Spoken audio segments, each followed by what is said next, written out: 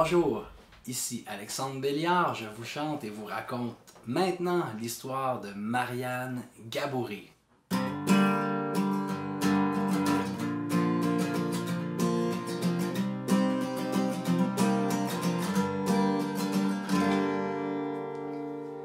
Marianne Gaboury. Cette histoire va nous entraîner dans les grandes de l'Ouest à l'époque, à l'âge d'or des métis, euh, des, des, grandes chevauchées, des chasses aux bisons. Mais comment une jeune femme qui est née à Masquinongé en 1780 a pu se ramasser là? C'est ce que je vais vous raconter maintenant. Donc Marianne est née, comme je disais, en 1780 à Masquinongé, un petit village, tout ce qu'il y a de plus euh, pittoresque, classique de la vallée du Saint-Laurent, avec des agriculteurs, avec le rendez-vous dominical à l'église. Donc Marianne euh, est pratiquante, euh, ainsi que toute sa famille. Elle a, euh, ils sont presque une dizaine d'enfants chez elle. Et puis vers 1792, elle a seulement 12 ans lorsqu'elle se retrouve orpheline de père. Alors, drame familial, on peut se douter de l'angoisse dans laquelle ça a dû plonger sa mère qui se retrouve avec une dizaine d'enfants sur les bras et plus de mari pour euh, l'aider euh, non seulement euh, au quotidien mais à tout payer. Alors Marianne va vouloir contribuer du haut de ses 12 ans. Elle prend son courage à deux mains et elle va se trouver un emploi. Elle va donc devenir aide ménagère au presbytère de Masquinongé. Donc c'est elle qui va tout gérer ça, le ménage, la popote. elle s'occupe de tout. Et elle va faire ça pendant 13 ans. Donc pendant 13 ans, elle va soutenir sa famille courageusement. Là, on est rendu qu'elle a environ 25-26 ans et tout ce qu'elle a fait dans la vie, c'est du ménage au presbytère. On ne peut pas dire que c'est une vie très palpitante pour une jeune femme. Alors, euh, elle regarde autour d'elle, elle voit bien que ses frères, ses sœurs sont, sont rendus des adultes, ils ont des fermes, ils ont des familles, des enfants. Elle, elle n'a rien de tout ça. Alors, euh, elle veut s'émanciper, elle veut vivre elle aussi euh, une vie euh, plus trépidante, elle aimerait ça se marier. parce que là, à 26 ans, à cette époque-là, en fait, quand on n'était pas marié, on se faisait appeler une vieille fille. Alors, pauvre Marianne, elle décide donc de démissionner, elle retourne chez sa mère. Et puis, bon, le train-train reprend tranquillement. Et puis, elle s'ennuie un peu. elle rêve, elle aussi, d'une famille. Et puis à un moment donné, il y a une fête. Euh, on est au mois de janvier. Euh, il y a une fête et euh, les gens se réunissent et il y a un compteur qui est là. Et le compteur, en fait, c'est un gars qui arrive de l'Ouest. Il s'appelle Jean-Baptiste Laguimaudière. Alors Jean-Baptiste, lui, c'est un coureur des bois. Euh, il, travaille pour la compagnie du Nord-Ouest. Euh, et puis, euh, bon, il, est de, passage dans, la région. Il est venu visiter sa famille. Et puis là, il raconte toutes ses aventures, tout ce qu'il a vécu dans les dernières années. Et c'est palpitant. Étant, étant le fait que Marianne tombe sous le charme. Et ça donne que Jean-Baptiste, ben, il n'est pas marié. Alors, c'est le coup de foudre. Ils vont se marier. Et contrairement à ce qu'on peut, peut penser, c'est que Jean-Baptiste, il va pas décider de rester dans la région puis de s'établir sur une ferme. Non, lui, il est coureur des bois, euh, il veut continuer à courir les bois. Alors, euh, c'est un peu un choc, j'imagine, pour Marianne quand elle apprend quelques semaines après leur mariage qu'il qui veut reprendre la piste et que ça va prendre peut-être plusieurs années avant qu'ils se revoient. Alors Marianne a dit non, elle dit là ça va pas se passer de même. Elle dit j'ai une idée, elle dit On est mariés, où tu vas J'irai. Le Jean-Baptiste tombe des nues. Il dit Voyons donc, tu vas gérer, tu peux pas venir faire la traite des fourrures avec, euh, nous autres.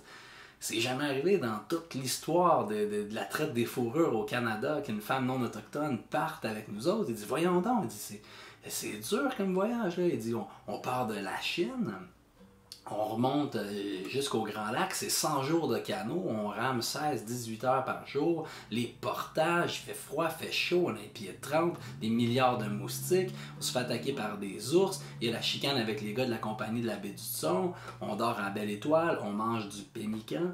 Les pémicans, en passant, c'est une espèce de mélange de c'est la nourriture des voyageurs, si on veut. C'est bien pratique parce que ça, ça pourrit pas. C'est un genre de mélange de, de gras de bison avec de la viande séchée, des petits fruits séchés si on veut mettre un peu de goût, euh, des céréales. Bref, Je le recommande plus ou moins. Euh, mais ça a l'avantage de ne pas jamais pourrir. C'est comme du McDo. Alors, euh, ce qui se passe, c'est qu'elle l'écoute, son argumentation, puis elle dit, ben, elle dit, j'ai tout pensé à ça, je les connais, tes histoires. Euh, je pars, euh, mon idée est faite. Il dit, mais là, il n'y a même pas de village rendu là, il n'y a pas d'église, on, vit comme des nomades, là, tu. Il dit, on va suivre les troupeaux. Fait qu'elle dit, oui, oui, elle dit, shit, tout ça, mais ma décision est faite, on part. Il dit, ouais, mais là, la compagnie va-t-elle accepter? Fait que là, ils vont, ils vont discuter avec la compagnie. Puis la, compagnie du Nord-Ouest dit, ben oui, il n'y a pas de problème, elle peut partir avec toi. Par contre, s'il arrive quelque chose, c'est pas notre faute. Alors, Marianne est devenue la première femme de l'histoire non autochtone à partir avec des voyageurs dans l'Ouest pour faire la traite des fourrures. C'est quand même extraordinaire. Elle fait le voyage, elle porte son fardeau lors des portages, elle finit par arriver dans les grandes plaines de l'Ouest après tous ces épreuves-là. Ils arrivent dans une région qui s'appelle Pambina, dans le nord des États-Unis, de la frontière. Euh, bon, cette frontière-là n'existait pas à l'époque, mais donc Pambina dans le Dakota du Nord. Et puis, euh, bon, il y a un petit camp euh, où il se retrouve entre coureurs des bois. Et à partir de là, son aventure va vraiment commencer. Sa vie de nomade, de, de, chasseur, de chasseresse de bison va commencer. Alors, ils vont partir vers le Manitoba, qui n'est pas encore le Manitoba à cette époque. Et ils vont se promener là, pour chasser le bison. Et Marianne sera donc la première non-autochtone à parcourir ces territoires-là. Donc, première femme à parcourir et à avoir un enfant euh, au Manitoba. Même chose, première non-autochtone à avoir un enfant euh, en Saskatchewan et première non-autochtone à avoir un enfant en Alberta. Tout ça, elle fait ça à cheval. Hein? Donc, c'est la vie de nomade, pas d'hôpital, pas de maison. À un moment donné, ça commence à être un peu essoufflant. Euh, elle rêve, elle aussi, de, s'établir quelque part. Après quelques années comme ça à, errer, ils entendent parler d'une colonie, la colonie de Selkirk, en fait, qui allait devenir éventuellement euh, Winnipeg. Donc, c'est dans, le coin de la rivière Rouge, la compagnie de la baie du Thon, qui est ennemie de la compagnie nord, nord-ouest, mais qui vont finir par fusionner éventuellement, euh, veut s'établir dans la région. Donc, Écossais et Irlandais arrivent de la baie du Thon et viennent s'établir dans la région de Winnipeg. Donc, Jean-Baptiste et Marianne vont s'établir avec eux. Ils ont enfin un, port d'attache. Marianne est contente. Elle est rendue, elle a presque neuf enfants euh, euh, sur les bras. Jean-Baptiste, lui, continue ses courses folles, ses chasses, ses épopées, et il n'arrêtera jamais. D'ailleurs, lui, il va vivre, il va vivre jusqu'à 78 ans et il ne lâchera jamais. Même chose pour Marianne, elle va avoir une belle vie, une longue vie remplie d'épreuves et d'aventures, mais loin, euh, elle devait jamais elle ne se serait doutée de toutes ces aventures qu'elle allait vivre. Et euh, Marianne a eu euh, presque une dizaine d'enfants, effectivement, et, elle a eu une fille qui s'appelle Julie. Et Julie, en fait, a, épousé Louis Riel père. Donc ensemble, ils ont eu Louis Riel, le fondateur du Manitoba. Alors c'est la grand-maman de Louis Riel. Je trouvais que ça méritait bien une petite chanson.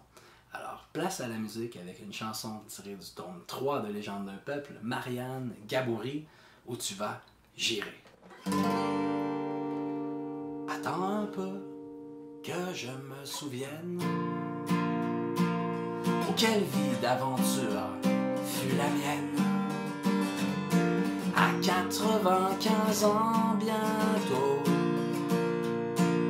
j'en ai vu tellement, presque trop avec mon beau Jean-Baptiste, toute une vie sur les pistes, ben où tu vas, j'irai.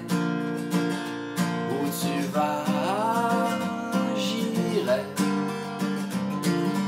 De Masquinongé jusqu'à Bambina.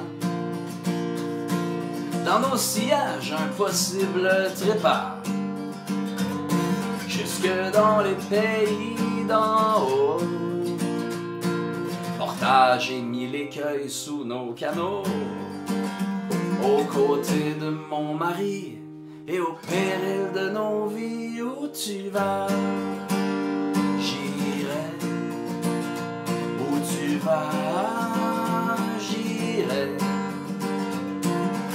J'aurais enfanté à la belle étoile, après de longues heures passées à cheval Au milieu de nulle part et en plein champ, j'ai offert aux prairies neuf beaux enfants.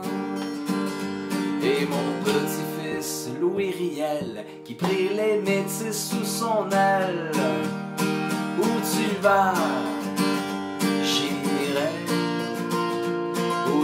vas, j'irai. Et voilà qu'aujourd'hui ma vie s'achève, mais je n'ai pas peur. Un dernier voyage qui m'emmène.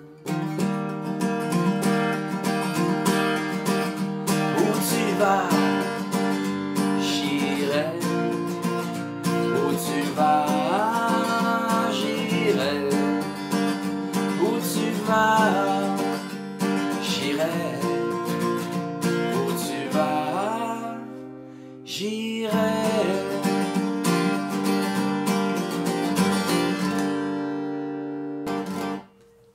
c'était le récit de Marianne Gabouri pour le Centre de la francophonie des Amériques.